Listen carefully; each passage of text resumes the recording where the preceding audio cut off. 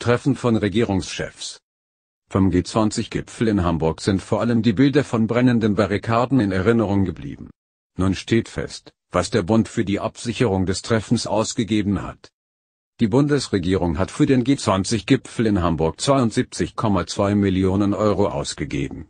Nach einer Aufstellung des Finanzministeriums kostete all eine der Einsatz von Bundespolizei, Bundeskriminalamt, Technischem Hilfswerk und Bundesamt für Sicherheit in der Informationstechnik 27,7 Millionen Euro. Das Bundespresseamt gab 22,1 Millionen für die Betreuung der 5100 akkreditierten Medienvertreter und für die eigene Kommunikation aus. Für die organisatorische und logistische Vorbereitung des Besuchs der Staats- und Regierungschefs in der Hansestadt veranschlagte das Auswärtige Amt 21,7 Millionen Euro das Verteidigungsministerium gibt die Kosten für die technische Amtshilfe der Bundeswehr für die Sicherheitskräfte des Bundes und der Länder mit 300.000 Euro an.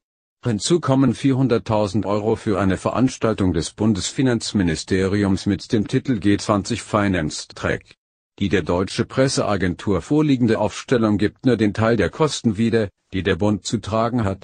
Die Hamburger Landesregierung hat noch keine Kostenrechnung veröffentlicht das Gipfeltreffen der wichtigsten Wirtschaftsmächte der Welt am 7. und 8. Juli 2017 auf dem Hamburger Messegelände war von massiven Ausschreitungen begleitet. Zu den Gästen von Bundeskanzlerin Angela Merkel zählten US-Präsident Donald Trump, der russische Präsident Wladimir Putin und der türkische Staatschef Recep Tayyip Erdogan.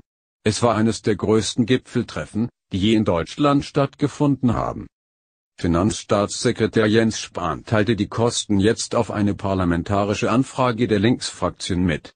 Der Abgeordnete Alexander Neu warf der Regierung Verschwendung von Steuergeldern vor. Großveranstaltungen wie der G20-Gipfel würden immer teurer, undurchschaubarer, bürgerferne, aber eben nicht produktive, sagte er der Deutsche Presseagentur. Nach dem letzten großen Gipfeltreffen in Deutschland, dem G7-Gipfel auf Schloss Elmau in Bayern 2015, hatte die Bundesregierung die Kosten für Organisation, Medienbetreuung und für die Sicherheit der Staats- und Regierungschefs mit 63 Millionen angegeben. Damals wurde aber noch ein Posten für die Unterstützung des Landes Bayern bei der Gefahrenabwehr von 49,7 Millionen Euro hinzugerechnet. Im laufenden Jahr können weitere Folgekosten des G20-Gipfels auf die Bundesregierung zukommen. Sie hat bis zu 20 Millionen Euro für einen Härtefallfonds zur Verfügung gestellt aus den Krawallschäden ausgeglichen werden.